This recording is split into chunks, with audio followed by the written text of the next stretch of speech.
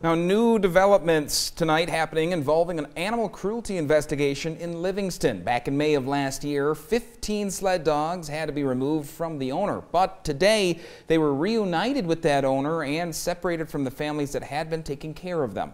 MTN's Annie Johnson joins us with more. It's been quite an emotional day here at the Stafford Animal Shelter as several dogs were taken from their foster families and returned back to the owner. Like I didn't, I haven't slept since two in the morning this last week.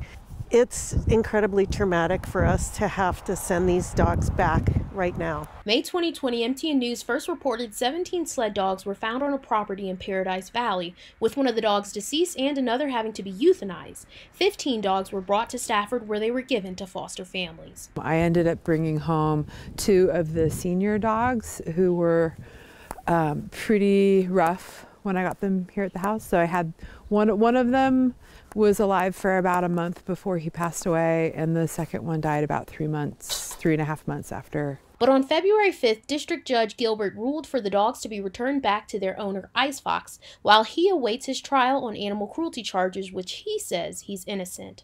Most days, I think, you know, being dead's better than this. And uh, I know it's a lot cheaper.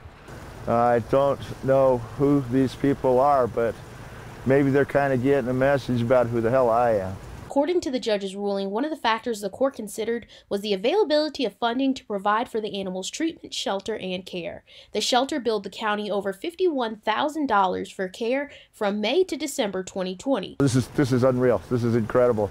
I, I, I, there was a lot of times I didn't think this day would come.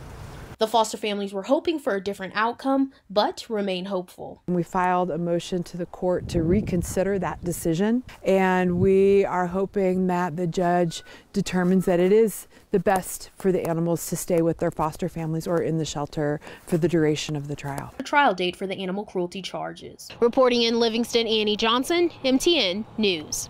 Now, the court order said a weekly welfare check may be performed on the dogs by officials for the next six months.